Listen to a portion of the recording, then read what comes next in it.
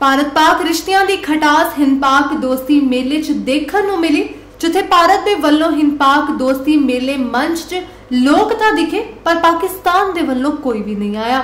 ਹਿੰਦ ਪਾਕ ਦੋਸਤੀ ਮੰਚ ਪਹੁੰਚੇ ਲੋਕਾਂ ਦਾ ਵੀ ਕਹਿਣਾ ਸੀ ਕਿ ਜੇਕਰ ਪਾਕਿਸਤਾਨ ਨਹੀਂ ਚਾਹੁੰਦਾ ਰਿਸ਼ਤਿਆਂ ਨੂੰ ਅੱਗੇ ਵਧਾਉਣ ਦੇ ਲਈ, ਤਾਂ ਉਹ ਕੁਝ ਨਹੀਂ ਕਰ ਸਕਦੇ।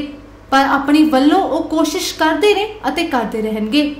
फौजियों को आवाम नहीं मार रही है और फौजी भी अपना काम कर रहे हैं और जो हम हम चाहते हैं कि एक्चुअली इसे नहीं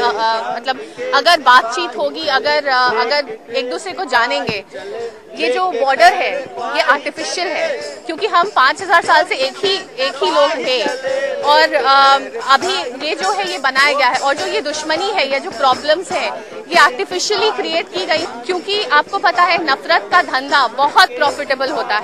इसलिए और आ, इससे फर्क तब पड़ेगा जब पब्लिक जो है वो इस बात की जिद करेगी जैसे अभी हम चंद लोग हैं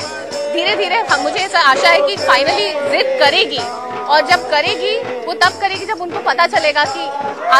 बॉर्डर के उस तरफ भी वैसे ही लोग हैं ਅ, ਦੋਨਾਂ ਦੇਸ਼ਾਂ ਦੀ ਜਿਹੜੀ ਆਵਾਮ ਆ ਉਹ ਇਹੀ ਚਾਹੁੰਦੀ ਆ ਵੀ ਅਸੀਂ ਇੱਕ ਦੂਜੇ ਨੂੰ ਮਿਲ ਜਾਈਏ ਤੇ ਜਿਹੜੇ ਵੀ ਆ ਗਿਲੇ ਸ਼ਹਿਰ ਸਾਡੇ ਆਪਸ ਵਿੱਚ, ਉਧਰਲਿਆਂ ਦੇ ਇਧਰਲਿਆਂ ਦੇ ਮਨ ਦੇ ਵਿੱਚ, ਉਹ ਸਾਰੇ ਮਿਟ ਜਾਣ ਤੇ ਇੱਕ ਜਿੱਦਾਂ ਫੈਮਿਲੀ ਹੁੰਦੀ ਹੈ ਫੈਮਿਲੀ ਦੇ ਵਿੱਚ ਗੁੱਸੇ ਨਾਰਾਜ਼ਗੀਆਂ ਹੋ ਜਾਂਦੇ ਆ ਤੇ ਇਦਾਂ ਹੀ ਇਹ ਆ ਤੇ ਅਸੀਂ ਫੈਮਿਲੀ ਆ, ਉਧਰਲੀ ਵੀ, ਇਧਰਲੀ ਵੀ, ਸਾਡੀਆਂ ਅੱਧੀਆਂ ਫੈਮਲੀਆਂ ਉਧਰ ਆ ਤੇ ਅੱਧੀਆਂ ਉਹਨਾਂ ਦੀਆਂ ਇੱਧਰ ਆ, ਹਨਾ ਜੀ? ਤੇ ਇਸ ਕਰਕੇ ਅਸੀਂ ਸਾਰੇ ਚਾਹੁੰਦੇ ਆ ਵੀ ਅਮਨ, ਚੈਨ, ਸਕੂਨ ਬਣਿਆ ਰਹੇ ਤੇ ਸਾਡੇ ਰਸਤੇ ਖੁੱਲਣ ਸਾਡੇ ਇਧਰਲੇ, ਉਧਰ ਜਾਣ ਤੇ ਉਧਰਲੇ ਇੱਧਰ ਆਉਣ ਤੇ ਆ ਵਿੱਚੋਂ ਜਿਹੜੀ ਕੰਧ ਆ ਤੇ ਉਹ ਹਟ ਜਾਵੇ। ਅੰਮ੍ਰਿਤਸਰ ਤੋਂ ਗਜਿੰਦਰ ਸਿੰਘ ਕਿੰਗ ਦੀ ਰਿਪੋਰਟ ਚੈਨਲ 2